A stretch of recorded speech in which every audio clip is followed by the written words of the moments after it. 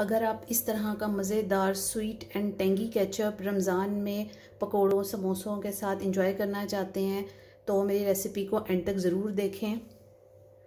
बिसमीम ये मेरे पास एक किलो के करीब पके हुए सुर्ख टमाटर हैं। इनको हम काट लेंगे। हाँ जी तो ये मैंने इस तरह से लंबा लंबा टमाटर को काट लिया है। एक टमाटर में से चार पीस किए हैं। मैं इसको प्रेशर में गलाऊँगी ताकि जल्दी हो जाए।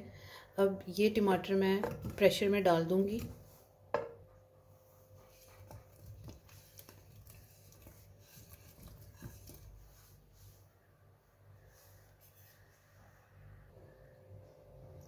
यहाँ मेरे पास ये मीडियम साइज़ की एक प्याज है, इसको हम इसमें डाल देंगे।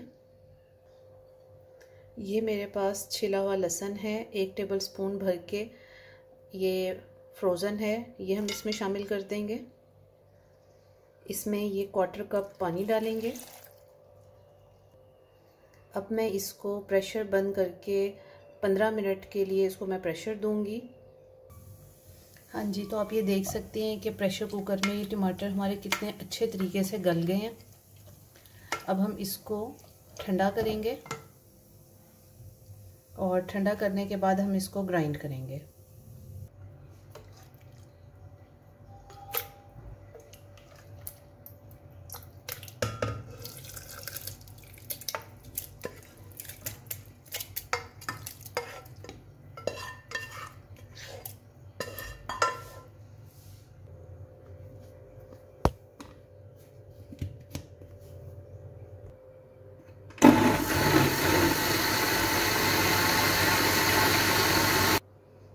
ये आप देख सकते हैं, अच्छी तरह से ब्लेंड हो गया।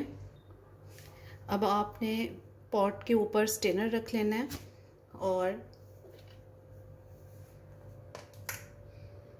जो हमने टमाटर ग्राइंड किए हैं, वो हमने थोड़े थोड़े करके इसमें डालना है और इसको स्टेन करते जाना है। इस किसी चीज़ की मदद से आप इसको ऐसे चम्मच से करते जाएँ और जो भी पल्प है वो स्टेनर से नीचे आपके पॉट में आता जाएगा। ये आप देख सकते हैं, ये सारा पल्प ये नीचे पॉट में आ गया और ये छिलके और बीज रह गए हैं और इसको हम यहाँ से हटा लेंगे। अब हमने अपना कुकिंग पॉट चूल्हे पर रख लिया है और फ्लेम ऑन है। अब हम इसमें one fourth cup sugar add करेंगे। और तीन टेबल स्पून हम ये वाइट विनीगर ऐड करेंगे।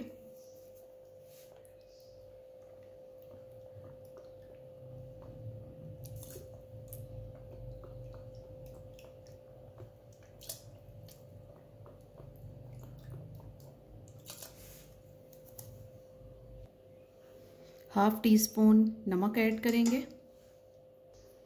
और बादियान के फूल की सिर्फ़ ये एक पेटल हम ऐड इसमें करेंगे, ये सिर्फ़ खुशबू के लिए है। अब हम इसको मिक्स करेंगे और इसको हमने पकाना है।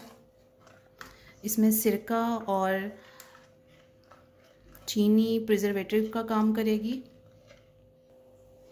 यहाँ पर हम एक पिंच या one eighth teaspoon red chilli powder भी ऐड करेंगे। अब हमने गाढ़ा होने तक इसको पकाना है या फिर आपकी पसंद की जब कंसिस्टेंसी आ जाए, उस वक्त तक हमने इसको पकाना है। हाँ जी तो हम ये चेक कर लेते हैं। अब देखें, ये बहुत ज़्यादा उछलने लगा है और ये देखिए ये कितना गाढ़ा हो गया है। अब हम इसको चेक करते हैं। अब आप एक प्लेट ले लें। प्लेट में ये थोड़ा सा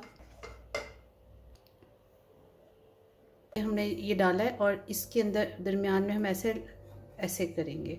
अब ये दोनों लाइंस या दोनों नहीं मिल रहे हैं तो इसका मतलब कैचो हमारा रेडी है। हाँ जी तो आप ये देख सकते हैं। ये केचप रेडी हो गया है। इसको हम ठंडा करेंगे और ठंडा करके हम स्टरलाइज जार में इसको फिल करेंगे। जी तो आप ये देख सकते हैं, ये केचप बन के रेडी है। ये मैंने इस जार में फिल किया है और बाकी मैंने एक प्याली में निकाला है आपको दिखाने के लिए। अब हम इसको बंद कर लेंगे।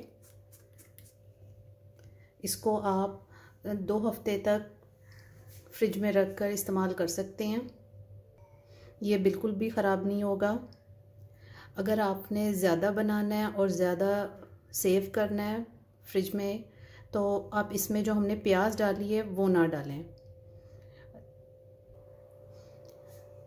और अगर आपको मेरी रेसिपी पसंद आई है तो आप इसको लाइक करें, शेयर करें और कमेंट में बताएँ कि आपने अगर बनाया है तो आपका कैसा बना है। और मेरे चैनल को ज़रूर सब्सक्राइब करें। थैंक्स फॉर वॉचिंग अल्लाह हाफिज़।